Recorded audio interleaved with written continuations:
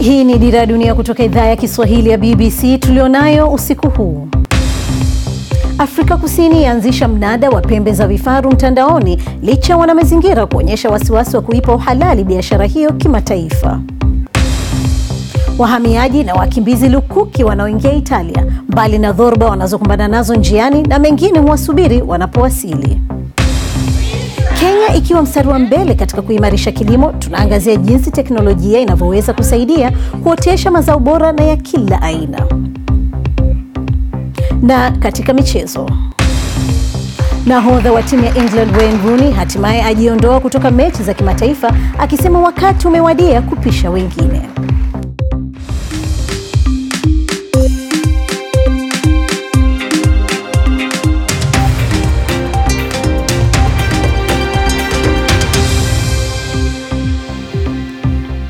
Hujambo na karibu katika Dira ya Dunia kutoka idhaa ya Kiswahili ya BBC kikuletea dakika 30 za habari, maelezo, uchambuzi, maoni na michezo. Mimi ni Zuhra Yunus nikiwa hapa London. Nchi ya Afrika Kusini inafanya mnada wa kwanza wa pembe za vifaru kwenye mtandao, swala ambalo limewaghadhibisha wahifadhi wa mazingira ambao wanahofia utaongeza ujangili. Tani sita za pembe za vifaru zinatarajiwa kuuzwa kwa muda siku tatu kuanzia leo kwa maelfu ya dola kwa kilo. Mnada huu unafanyika ndani ya mipaka Afrika Kusini pekee. Wanunuzi wanapaswa kuweka amana ili kujisajili na kisha kupata idhini ya idara ya mambo ya mazingira nchini humo. Bere Luambani na maelezo zaidi. Omar. Wizara ya mazingira nchini Afrika ya Kusini imeamriwa na mahakama kuruhusu upembe 264 kupigwa mnada kwa muda wa siku tatu kuanzia leo. Mahakama Kuu imeondoa agizo la kusitisha biashara ya ndani ya pembe za faru nchini Afrika ya Kusini iliyokuwepo tangu mwaka 2009. They're also walking up towards the feeding ground. Mwaka 2015 mfugaji wa faru alienda mahakamani kutaka kuwekwa kando kwa agizo hilo kwa kuwa imekuwepo kwa muda mrefu sana, na mahakama ilikubaliana naye. This is the way Ninaamini kuwa hii ndiyo njia ya kuokoa vifaru wasiangamie kabisa, kuwazalisha na pia kuwahifadhi vizuri. Mojawapo ya njia za kuwalinda ni kuhakikisha pembe zao hazipatikani kwa kila mtu. Kabla ya mwaka 2009 wakati ungeweza kununua pembe kihalali nchini humu, hapakuwa na ujangili. Baada ya mwaka 2009 ujangili umeongezeka sana na tumeshindwa kuudhibiti. Serikali ingali katika mchakato wa kukamilisha sera za biashara ya ndani ya pembe za vifaru. Hii ina maana kwamba wanaweza kutoa vibali vya biashara nje chini ya kanuni ya CITES kuhusu usafirishaji wa vitu vya mtu binafsi. Katika kipindi cha miaka kumi tu, pembe 62 za vifaru zilipewa vibali vya biashara nje, lakini wahifadhi wa mazingira wanapinga mnada huu. Kwanza kabisa, kulingana na makubaliano ya CITES, kisheria hairuhusiwi kuwepo kwa biashara ya kimataifa ya pembe za vifaru kwa minajili ya kupata faida.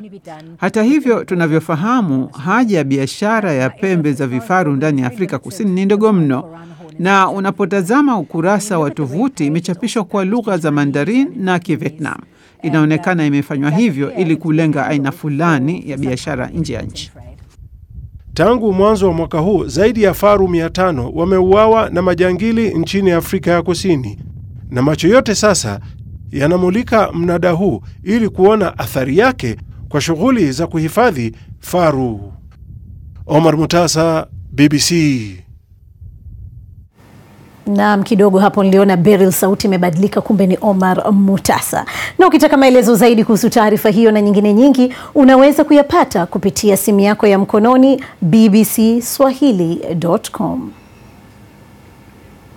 Na sasa tuangazie taarifa nyingine zinazogonga vichwa mbalimbali vya habari duniani kwa wakati huu.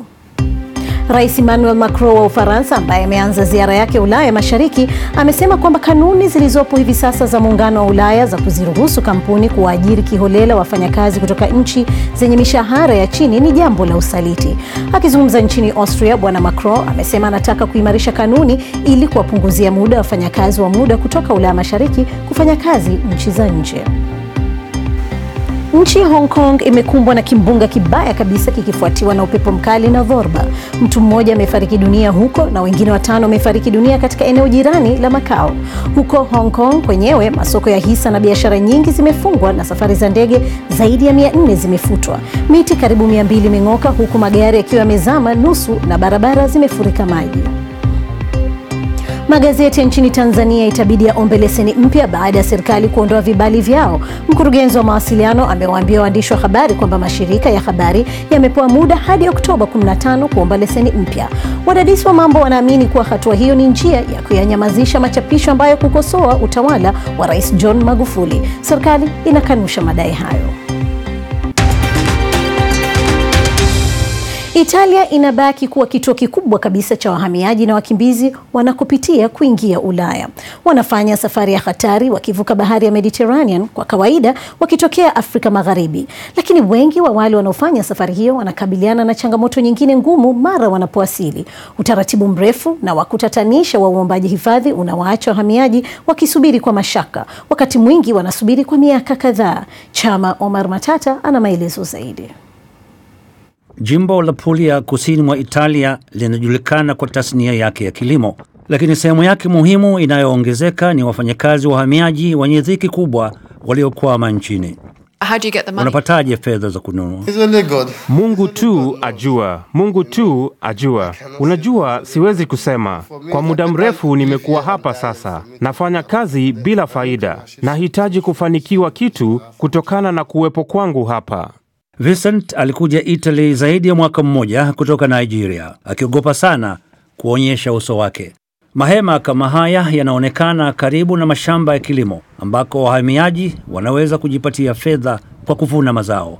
Kulikuwepo wahamiaji karibu mia tatu wakiishi katika kambi hii, lakini wakuu wa serikali hawajui wangapi wanaishi isivyo rasmi katika jimbo lote. Utaratibu mrefu na wa kutatanisha wa kuomba hifadhi unaolazimisha wengi hatimaye kutafuta kazi yoyote ile. Wahamiaji wengi hapa hawamo kabisa katika mfumo wa uhamiaji. Wengi wanaweza kunyonywa kwa urahisi. Kufanya kazi kwa magendo ndiyo chaguo pekee kwa wengi wao.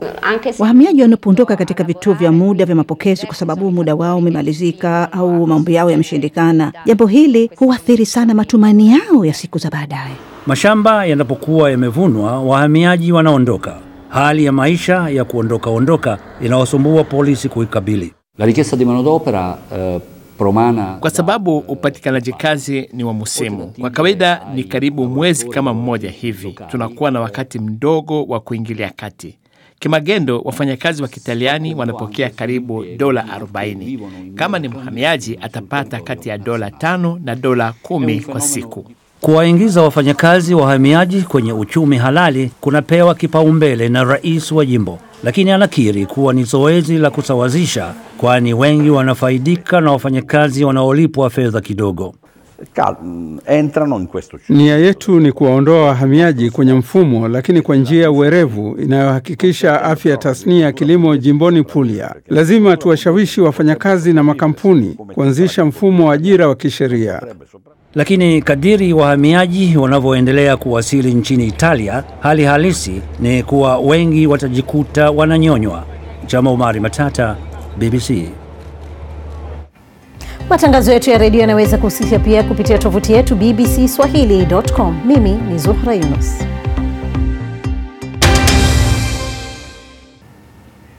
Hii ni Dira Dunia kutoka idhaa ya Kiswahili ya BBC. Mimi ni Zuhra Yunus. Habari kuu usiku huu Afrika Kusini inafanya mnada wa kwanza wa pembe za vifaru kwa njia ya mtandao licha ya lawama kali kutoka kwa baadhi ya wanamazingira. Wahamiaji bado wanaendelea kufanya safari za hatari katika bahari ya Mediterranean na kuingia Italia. Hii ni licha ya changamoto ngumu mara wanapowasili. Nam, basi na sasa na rusha kipenga kwake Mariam Omar kutueleza yaliyojiri zaidi katika miaka mitano uh, ya Dira Dunia televisheni. Karibu. Asante sana Zuhra Yunus. Naam, uh, tunaendelea na mfululizo wa makala zetu ambazo na kujulisha tu kwamba uh, kando na taarifa ambazo ni za siasa, uchumi na maendeleo, tumeweza pia kukuletea burudani kwa kuzungumza na wasanii mbalimbali, Alikiba, Diamond, Diamond, Sauti Sol, Nameless, Edikenzo Kenzo na hata Chameleon. Ni baadhi tu ya wanamuziki wengi ambao tumezungumza nao katika Dira TV tangu ilipozinduliwa. Charles Hilary miaka ya nyuma alifanya mahojiano yaliyosisimua sana alipokutana na ya moto banda Tumepunguza kidogo mahojiano kutokana na ufinyu wa muda, lakini uh, tumekuachia uhondo wa mahojiano yenyewe. Yalikuwa hivi. Tumalizie tupate kidogo akapela moja hapa.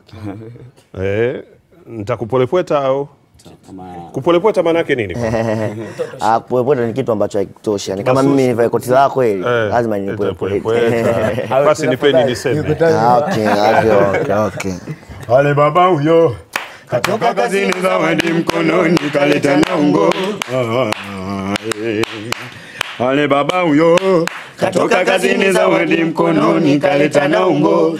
Tusipate tabu ya kupeta mchele. Ale baba umerudi, nipe soda nikaringishe Huko nje. Amina Sarai walilie na mimi niringe, nitambe ila baba mama na mchombaji tu wamepigana eh, wamemwaga maji kitandani kwako na shuka wamechana eh, ila baba mama na mchombaji tu leo wamepigana eh, wamemwaga maji kitandani kwako na shuka wamechana. Nini ni sana gaga. Oh, oh, oh, oh. Asema dadi, kwani Shabani mwanao? Eh, eh, alaliaga kifua cha mama, kwani na yule mwanao? Tena we acha anko mangi yule bandala video. Ye anapendaga kujaga usiku, kwani yule ni ndugu yo oh, tena dadi ukitoka. Na mangi analia eh, ananiletea bazoka. Na pesa ya kutumia, ila Shabani simupendi, hapendi kunipa hela, awe kazi kumpiga mama. Na pesa anachukua, wanakaa siri siri wakionana eh, kwenye mabano Wanachofanya, eh, atanipiga nikikwambia, alishasema eh, wanakaa siri siri Wakionana, eh, kwenye mabano wanachofanya, atanipiga nikikwambia, alishasema mama asema niseme nisiseme Sema. Ah, ah, oh niseme oh. Sema. niseme nisiseme Sema.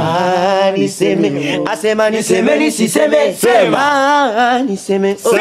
Niseme nisiseme Sema. Niseme heshima kwako babai. Vipi maputo na pipi? Umeniletea. ukulani kabai? Unapotoka ridhiki Kututafutia we baba yo. Una- unapokwenda kazini uja Akana mfupi kimo. Ana madevu kaosama sijui nani. sema ila bisho. Anakujaga nyumbani kufata nini? Akabiri kimo. mama kanambia nimwite anko Joni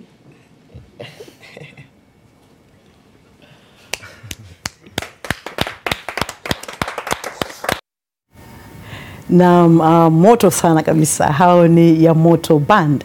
Charles Hilary alikuwa mtangazaji wetu wa kwanza kabisa wa michezo, lakini kama mnavyofahamu amehama na kurudi nyumbani. Hajatusahau kabisa, anatukumbuka sana. Hakika miaka mitano imepita, imeingia kama mchezo kama upepo tu ya matangazo ya idhaa ya Kiswahili ya BBC kwa njia ya televisheni, matangazo ambayo yamekuwa yakipendwa sana na watu. Najivunia kuwemo katika kundi au jopo lililoanzisha matangazo haya ya idhaa ya Kiswahili ya televisheni. Kikubwa ambacho sitaweza kukisahau kutoka katika utangazaji wa redio kuingia katika utangazaji wa televisheni ilikuwa ni changamoto kubwa sana. Mafunzo yalikuwa ni mazito eh, kila siku na kufanya mazoezi mazoezi hadi kitu kikakaa sawa na tukaweza kutoa taarifa ya habari ambayo ilikuwa ikiwavutia watu wengi sana taarifa ya habari na sehemu yangu mimi kubwa zaidi ilikuwa ya upande wa michezo. Hakika kitu kilichofanyiwa kazi kwa nguvu sana, ndiyo matunda yake ni hayo. Najivunia kuwa mmoja wa walioanzisha taarifa hiyo ya habari ya televisheni ya idhaa ya Kiswahili ya BBC London. Kitu kingine ambacho sitaweza kukisahau ni kuanzisha vile tulikuwa kule tunaita na hatimaye huku tunaita vibwagizo vinavutia na umuhimu wake vitu hivi mwisho wa taarifa ya habari umemlisha mtu vitu vizito tangu taarifa ya habari inaanza lakini mwisho unampoozesha kidogo na kitu ili aweze kucheka au kutabasamu au kushangaa halafu ile taarifa ya habari inakuwa inakaa kichwani kabisa. Hongera BBC idhaa ya Kiswahili, miaka mitano kwa kituo cha televisheni. Kitu kingine cha mwisho siwezi kukisahau, tukiwa pale tunatengeneza taarifa yetu ya habari, ghafla tutasikia mtu anaanzisha wimbo na wote tunaimba. Wenzetu wa idhaa nyingine wanakaa wanatushangaa, hawa Waswahili vipi? la la la la la la la la la la la la la la la la la la. Hongera BBC idhaa ya Kiswahili television. Eh, Ndio Charles huyo, basi nakwambia tunakukosa sana bwana Charles. Naam, uh, nilikufahamisha tangu Jumatatu kuwa tumekuwa katika nafasi nzuri sana ya kuzungumza na viongozi mbalimbali mbali kutoka eneo letu la Afrika Mashariki na vile vile la Kati, ikiwa ni viongozi wa serikali na hata wale wa upinzani. Mwandishi wetu Ferdinand Omondi alipata fursa ya kuzungumza na Raila Odinga, kiongozi wa upinzani nchini Kenya.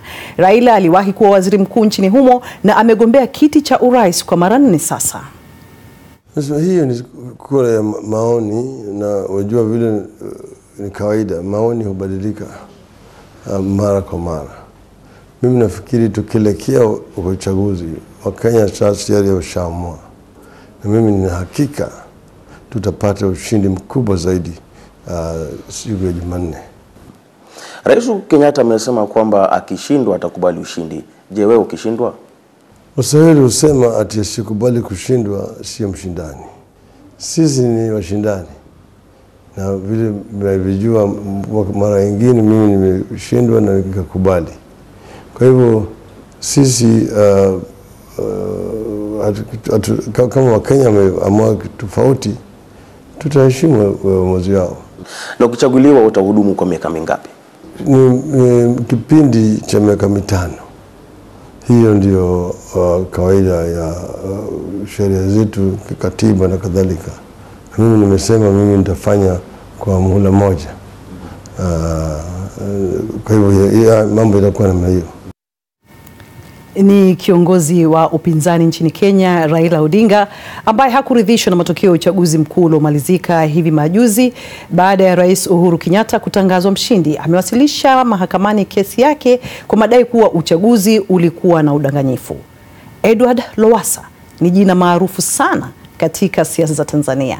Aliwahi kuwa na jukumu kubwa serikalini kama waziri mkuu na pia vile vile alikuwa mwana CCM damu hadi pale palipozuka mpasuko mkubwa wa kisiasa na akajiondoa chamani na kujiunga na chama cha Chadema ambapo moja kwa moja akawa mpinzani wa nguvu kabisa wa CCM. Zuhra Yunus alizungumza naye mwaka 2015. Mimi sioni kwa nini unaugua habari ya bure. Inawezekana hivi huko Ulaya wana- wanatoa wanatoza shule shu- shu- kodi. Sikatai mheshimiwa kwamba inawezekana, lakini nani atatekeleza? Kwa sababu kila mtu anaahidi, kila mtu anasema, lakini watekelezaji Watanzania wanipe mandate tarehe 25 Oktoba na utaona nitakavyoitekeleza. lakini ulikuwa na nafasi hiyo zaidi. Nafasi hiyo Ulikuwa, ulikuwa na nafasi, umechukua nafasi nyingi za waziri. Ndio maana ndio maana naomba nafasi hiyo sasa. mpaka waziri mkuu, si jambo dogo hilo. Nisikilize basi, ndio maana naomba nafasi hiyo tarehe 25 Oktoba. Wakinipa mandate hiyo, utaona utekelezaji wake, na mimi nakuahidi, wallahi itakuwa maajabu. Kwa hiyo inatakiwa mpaka uwe rais ndio uweze kutekeleza hayo, sio sio, huwezi kuwa waziri tu, waziri mkuu, bunge unaweza. kuna mambo ambayo waziri huna mamlaka nayo. Kwa hiyo uliwahi kushauri, uliwahi kushauri swala hilo, labda kushauri- ana hiari ya kukataa na kukubali. Kusema kwamba nilishauri au sijashauri siwezi kusema. Ufisadi una mkakati gani wa kupambana nao? Maanake ufisadi huo uko katika ngazi ya juu mpaka ya chini. Hilo ni swali gumu refu, na ningetaka mjadala wake peke yake. Naam, leo basi naona tukomee hapo na mahojiano ya mwanasiasa mkongwe wa Tanzania Edward Lowassa wa chama cha Chadema. Hii ni katika makala ya kuadhimisha miaka mitano ya Dira TV. Kesho basi usikose kuungana nasi. Zuhra, usikani ni wako sasa. Malizia kama Charles. La la la la la. La la la la la. La la la la la. la la la la la. Hii ni Dira ya Dunia.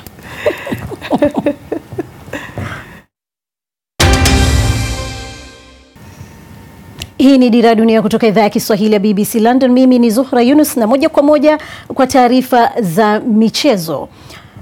Bingwa wa magoli wa England Wayne Rooney ametangaza kujiuzulu kutoka soka kimataifa. Mshambuliaji huyo mwenye miaka 31 ambaye miezi michache tu iliyopita amerudi timu yake ya zamani ya Everton kutoka Manchester United amefungia England jumla ya mabao 53 katika mechi 119 alizocheza, ikiwa ni zaidi ya mchezaji mwingine yoyote wa timu hiyo. Katika taarifa aliyotoa, Rooney amesema kuwa baada ya kufikiria kwa muda amemweleza kocha Gareth Southgate kuwa hawezi kukubali wito wake kuja kuchezea England katika mechi za kufuzu kombe la dunia mwezi ujao na ameamua kujiuzulu kutoka soka ya kimataifa. Kocha wa England Southgate alimwacha Rooney nje ya timu zilizocheza dhidi ya Uskochi na Ufaransa mwezi Juni, na wengi wanaona kama hii tayari ilikuwa dalili kwa Rooney ataondoka. Alianza kuchezea England Februari mwaka 2003 waliposhindwa na Australia tatu moja uwanja wa Upton Park. Mechi yake ya mwisho kimataifa pia kama nahodha wa timu ya England ilikuwa mwezi Novemba mwaka uliopita walipoicharaza Uskochi tatu bila uwanja wa Wembley. Liverpool inaelekea mechi ya marudio na Hoffenheim katika ligi ya klabu bingwa Ulaya kwa mara nyingine tena bila nyota wao Philippe Coutinho. Amekuwa nje kwa muda kutokana na jeraha, japo jina lake limezungumzwa sana Barcelona wanaomtafuta kumsajili, lakini Liverpool wamekataa kumuuza, na meneja Jurgen Klopp amesema kuwa hana nyongo naye na kuwa atamkaribisha katika timu punde tu atakapopona jeraha lake. Liverpool wanaongoza kwa sasa mabao mawili kwa moja dhidi ya Hoffenheim walipokutana mara ya kwanza nchini Ujerumani. If he, if he would start tomorrow, Hata angeweza kuanza kesho, sina neno. Itachukua muda kwa kuwa bado hajafanya mazoezi kwa muda mrefu, lakini bila shaka tutarejelea hali ilivyo punde atakapopona na kurudi. in a moment when he's back. Ni hayo tu katika michezo.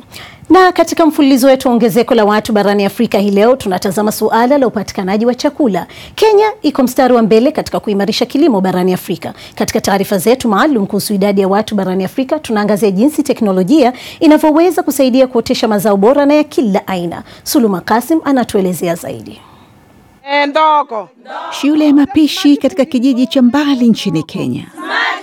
Eneo hili mahindi ndio kila kitu. Wataalamu wa lishe wanajaribu kuwahamasisha watu kuhusu vitu tofauti. Vyakula hivi bora vilikuwa ni vyakula vikuu nchini Kenya kabla ukoloni kuleta mahindi. Mahindi yanahimili ukame, ni lishe bora na kwa kweli ni rahisi kupika kwa kila aina ya chakula. Lakini wakulima ndio wanahitaji kushawishiwa kufanya mabadiliko, kupandisha mazao tofauti na juu ya jinsi ya kurutubisha ardhi. Ah, nundu wa mbua nundu ni yanine bie Siku hizi haupati mvua kama vile zamani. Nikiotesha mimea hii, najua nitavuna kitu, sio kama vile mahindi, choroko, mbaazi na mtama. Kwa kawaida uhimili ukame. Nchini Kenya, shamba dogo linaweza kutoa mazao mara nne zaidi ikiwa litakuwa na mbolea bora. Pia itatumia miche ya mazao yenyewe. Hapa ndio sayansi inaweza kutumika kwa mimea kuchanganywa na kufanywa kuwa bora zaidi. What we're seeing right now is a finger millet. Tunachoshuhudia sasa ni kuzaliana kwa mtama, hivyo tunajaribu kuchanganya vitu tofauti kutoka katika mmea mmoja hadi mwingine. Hivyo tunaishia kupata mimea iliyo bora kabisa na inastawi vizuri sana na haidhuriki na wadudu au maradhi. Pia huwa ni lishe bora. Maabara hii mpya ya asili na saba, yaani DNA iliyo Nairobi, hurahisisha hali ya mambo. Kumeanzishwa mradi wa kuimarisha mazao ya jadi karibu mia moja na moja kutoka kote barani Afrika, lakini inahitaji kila mtu ajihusishe. Kuimarisha kilimo ni kitu cha kupewa kipaumbele, hasa ukizingatia changamoto ya kuongezeka kwa idadi ya watu na athari ya mabadiliko ya tabia za nchi. Suluma Kasim, BBC. Na kwa habari hizo hatuna cha ziada. Mlale unono.